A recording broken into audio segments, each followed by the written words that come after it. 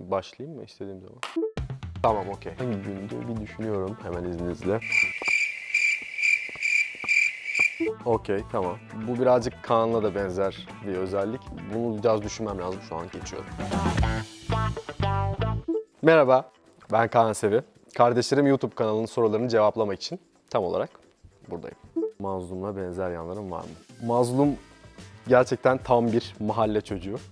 Ee, ve ben de İzmir Göztepe doğumlu birisi olarak ben de tam bir mahalle çocuğuyum diyebilirim. Yani mahalle kültürüne çok hakimimdir. Gülüm. Çünkü gülüm meselesi inanılmaz ama inanılmaz tuttu gerçekten. Yani bu sorunun cevabı ya Halit ya Cihan. Çünkü Halit zaten inanılmaz hiperaktif birisi. İnanılmaz yani. Onunla enerjimiz çok tutuyor. Cihan'da da bence doğal bir komiklik var. Ee, o beni çok güldürüyor. Gün içinde en çok kullandığın kelime nedir? Acıktım. Çocukluğuna dair en çok özlediğin şey. Ya ben, benim jenerasyonum bence, ben 94 doğumluyum. Sokakta top oynayarak, futbol oynayarak, sokakta oyun oynayarak eee, çocukluğunu yaşamış son jenerasyon bence.